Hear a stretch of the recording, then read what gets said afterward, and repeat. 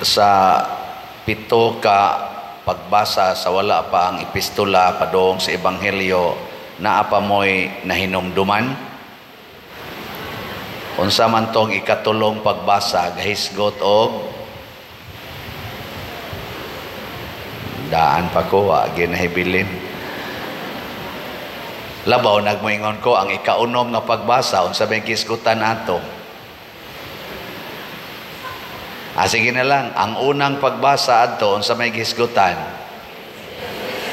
Salamat in taon kay napaginahinomdom about sa creation. Niya ang ikaduha sa muala sa pagtuo ni Abraham na hastang iyang anak nagisugo siya nga patyon, iyarasang patyon. Niya ang ikatulo ang sugo sa pagtuo sad ni Moises nga mo'y nakaluwas sa mga Israelita hastang dagat nabuak nahimong karsada sa usalang kagabi ana. O sa dihang nakasala ang mga Israelita ang sunod nga mga pagbasa naghisgot nga ako mong ayuhon ako na sad mong tigomon pagbalik pamalik mo sa Ginoo. Ana. Mao na nay mensahe sa Ginoo nato. Iyatang gibuhat pero gusto siya nga duna sa tay pagtuo niya nga magbubuhat. Sige, lingi ay mong tupad. Kay mura gaduka na na. Ing na mutuo ka nga ang ginoo mo ay nagbuhat nimo. Kay karon rabano, daghan kaayo tag mga kanabang murag nawa tas passing ang mga ginikanan Nagtuog sila sila gabuhat sa ilang mga anak. Nya kay sila man kunoy gabuhat, sila sa kunoy tag-iya. Hilasa gud ninyo kamoy nagbuhat sa inyong anak. O kamo lang gyud lauman nga mobuhat anak, di gyud magkadimao bisan na lang ang kilay anak tingali. Di gyud tingay magtungod. Labaw nang dunggan, mina ko dunggan di usa, usa di tingay No? Kay Kay bao jud ko giunsa ninyo pagbuhat, wa gyud matarong ang inyong kinabuhi tanahon. Hasta ang inyong mga pamurmas inyong naong, wa gyud magkadimao. No. Wa ko kasuway buhat ana ha, pero kamo kasuway man mo. Unsa man? Kanang magpanday ka, imo pa man ang siling-silingon, imo na tanaw-tanawon ang iyang nibil, tuntun-tuntunan pa na para di mahiwi. Kamo ka tuntun-tuntun mo. Jesus, panglabay lang siguro asa pangwakli. Eh. Mo na ayaw gyud kuan. Ayaw gyud palipat. Dili ta magpalipat. Ang Ginoo mo'y nagbuhat nato. Nya siya say nagatiman nato. Siya ay naghatag nato sa tanan nga makapahimo natong buhi makapahimo natong malipayon og malambuon. Dili kita. Mabda nang hilasan kay kuan na mga ginikanan sad. O bisag kita god, moingon dita, sus mo trabaho jud kog maayo para sa akong future. Ha? Ikay magandam para sa imong future? Wa man siguro karong gabhiuna karon ra ka kutob. Labi na nga ni Bilar ka karon.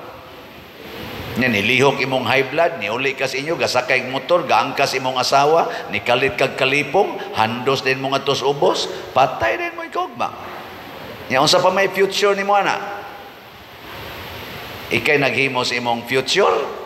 Mulinog lang kay karon di man gani ka kasagang, wagi siguro mulan slide mo dito sa inyong balay, nya kamo gyud matamukan. Nya ikay muda sa imong future.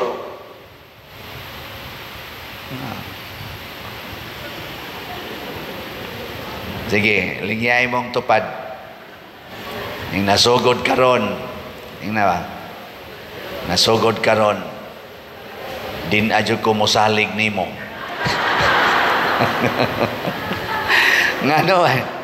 Kamo mga asawa mosalig mo na inyong bana nga mo'y muhatag ninyong future. So sayop ng pagsaliga. Kamo mga bana mosalig mo sa inyong mga asawa samot. Mga anak mosalig mo na inyong ginikanan na Frustration ray madawat ninyo. Labaw na mo mga ginikanan, anha mo muhatag o paglaom sa iyong anak, nga mo'y muhawas Diyos kalisod, dugangan pa mo ana. Hasta pang dayapira ng ilang mga anak, kamo pa'y pagastuon. Bisag sakit na kanyong hawak, dagaan pag yung mga apo, himuon mong bibisiter, mga ina, mga ginikanan, himuon mong bibisiter, mo pay 40 ng sakitas inyong lawas, tagaan pag yun mo ang mga bata nga mga siaw kay tanan.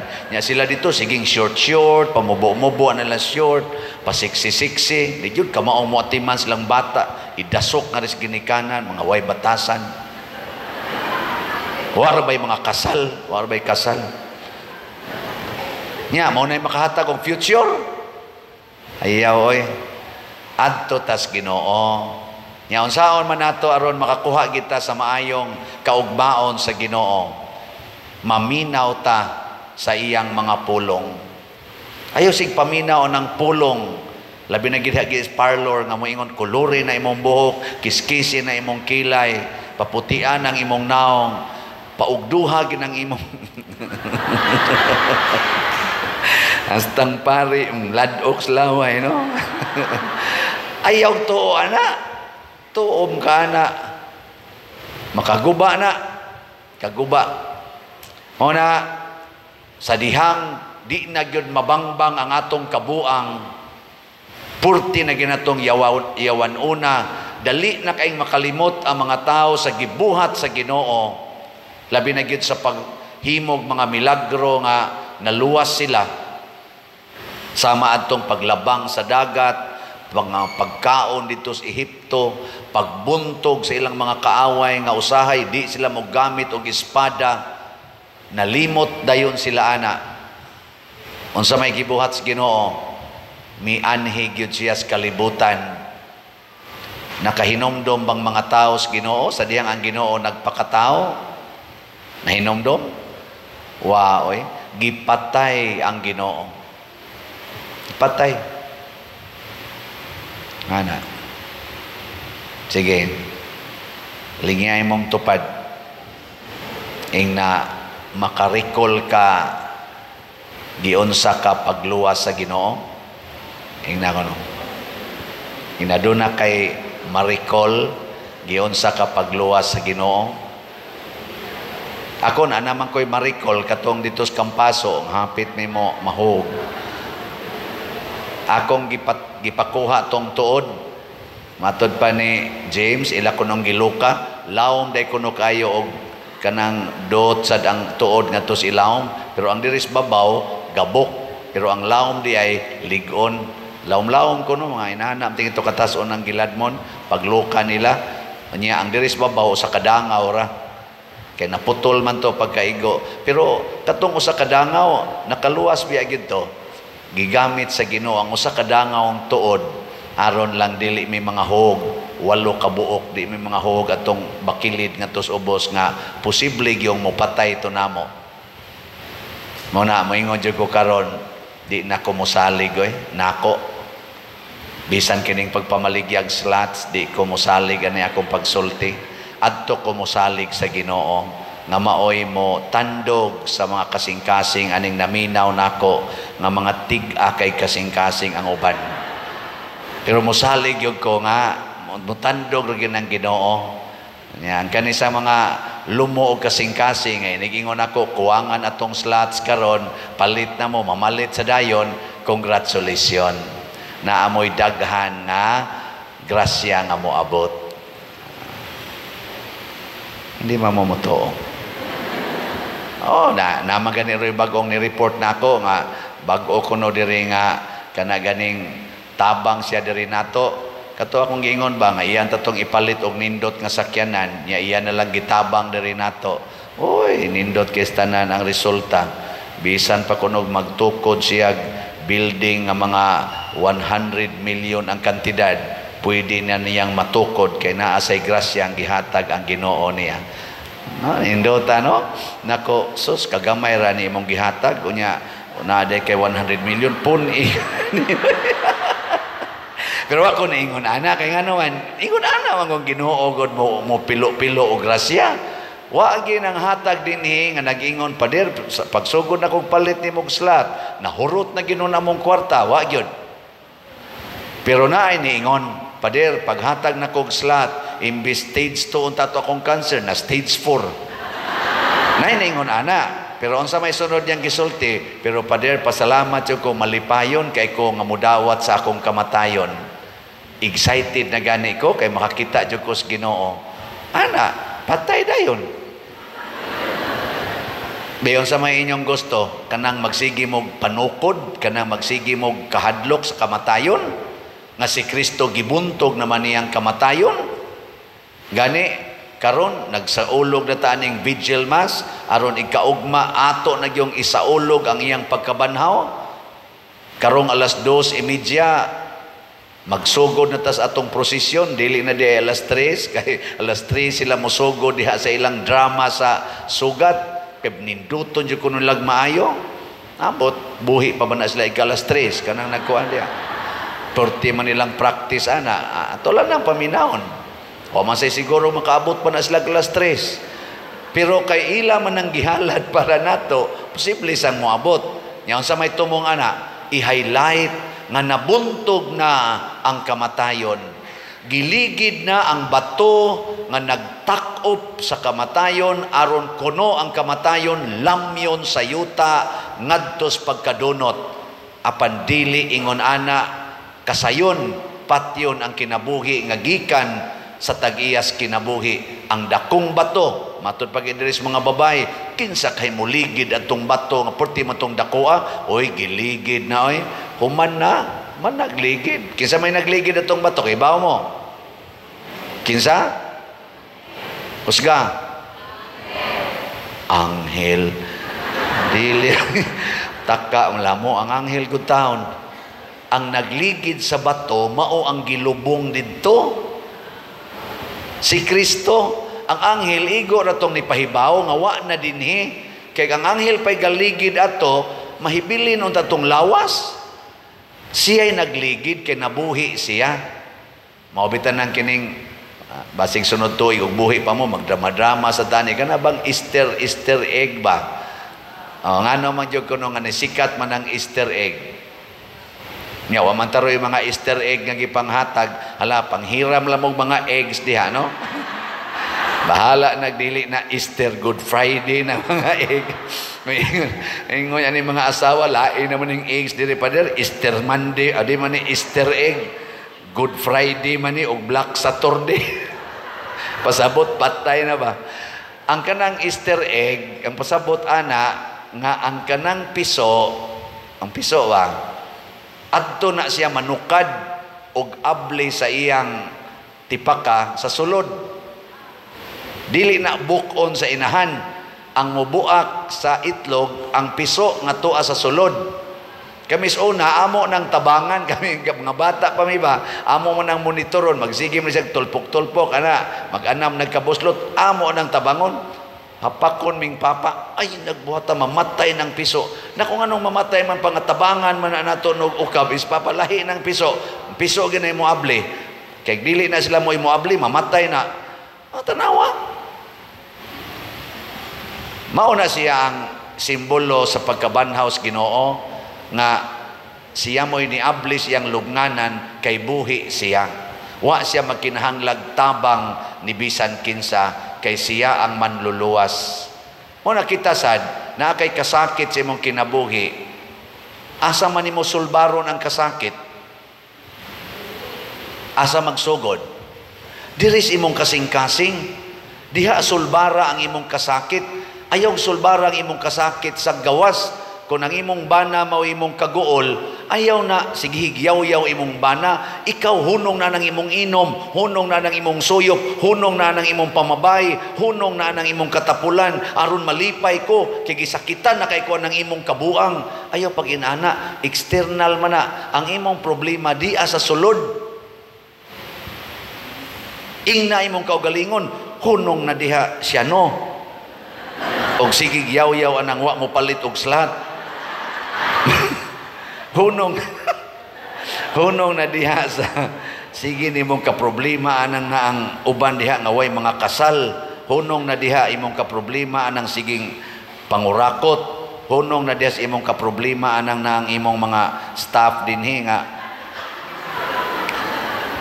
mo lagi nana ba Unsa may buhaton? Unsa may buhaton? Higugmaa ang tanan. Butangig gugma ang imong kasing-kasing para sa tanan. Inigbutang nimo gugma, mga usab ng tanan. Mabuhi ka. Basta nanay gugma imong kasing-kasing. Pero ang imong ibutang sa imong kasing-kasing, hatred, pride, kana, patay yung kaniya. Sige, katapos ang lingi sa imong tupad, be. Ing naon sa roysod sa imong kasing-kasing. Ha. Naon sa isod ya. Naigugma diya. Ana. O na kamo mga ginikanan, di na mo magyaw-yaw sa inyong mga anak. Basta inyo na siyang higugmaon. Nya sa sige ninyong higugma sa inyong anak, mutakod sa nang inyong gugma ngadto silang kasing-kasing nya mo hinay-hinay sa naggitib nga mubaw sa na silang paghigugma oh tanawa Santa Monica sigihan niya higugma si San Agustin. Agustin ba? Buangon man to kayo.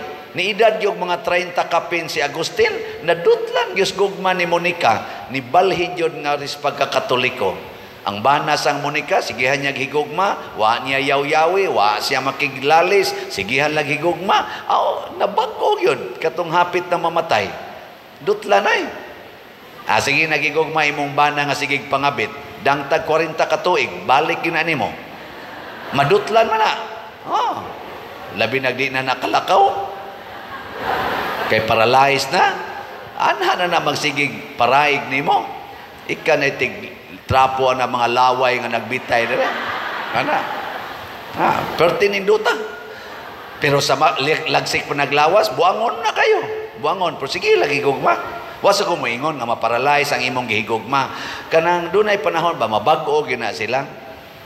Ah, kita bitaw din he. Sige man tag higugma. Sige ta higugma. Tanawa, di ba daghan kayong nangabago? Naiuban mo anhin ako. Pader, karon pa ko nakapalit og slot kay karon pa ko kasabot nako lima ka tuig na ko sige explain. Ani karon pa ka nakasabot insya. Wa jo kasabot ana pa there's una karon nakasabot nako. Nako naa gid ay ko ano na ba nga kanang gitawag bag late bloomer ba no? Oh, dako dako ra basag paliton nako oy kanindot. Kato ding nakapalit og 200,000 wa man siya kasabot anang slot-slot Sige, siyang paminaw na ko. Sige, pag isang pa-picture na ko, ato Santo Niño, iya kong atangan dito. Apa ko din eh. Atong Santo Niño, iya kong atangan. Kay ang ako yung misa niya, magpa-picture pag yun. Iya pa yung kong ipakita na padiray. Niya tay selfie ay, naku, ni-appeal ka ni? Di ko katuo ba, nga sa ilang ka-dignified, ning apil sa kuno siyang suot-suot dito kay magpa-picture na ko selfie iya kong gipakita nya ningon sa ko padir explain ni rago ko unsa nang imong ingong slot Nako kani sila no mga bright manunta mga arang-arang ta pagkabutan. Di ang kasabot og nakasabot pa ni dugay nang takong nakadawat og arang-arang tingali. Pero di man sana late no. Oh, wala palit silang slot nya ningon pagid siya sagdi lang pa der og napay sunod mapunan pa na nato kay nakasabot nako. O di ba? Ana nganong ba discourage man ka? Basin ka nang imong anak dili lang nakasabot pa karon 16 years old na na, walang yapon kahuman o grade 6. Ay lang kabalaka, basin ini ka grade 10 ana ano ika ika 20 years old, maabot na gina siya o grade 7. Oh, di ba? Kating nindota. Nami mo gyud ana gud. Nami ko kaila nga nahimong grade 4, 21 years old. Grade 4. Oh, diha pa siya na grade 4, 21 years old nya ning take din siya kanang ALS ang sa una kuan pa man na kanang placement test pa tawagan na. Ditso din siya pagka college kuha siya marine. Two years after graduate siya marine. Trabaho din siya pagka 25 years old abroad na. Karon chief engineer na. Perti nang dagko ag balay perti pang datua na daot ra na. Igo yun sa kanabang pailom sa iyang asawa o sa iyang inahan. Na sige lang yung pailob, sige sa siyang suyop, sige siyang standby, wa gibuhat ng lain. Gianggaan na lang siya, Mr. Standby. Pero sa rosaryo, sa pailob, sa asawa o sa ginikanan, na bag-o yun iyang kasing-kasing. O gingon ana ang gahom sa Easter power kanibang gitawag nato ang gahom sa pagkabanhaw mo bag-o sa tanang butang. Ang kamatayon mahimong kinabuhi. Ang kangit-ngit mahimong kahayag. Ang kabuang mahimong kabuutan. Ang kabatignaong magpabili na no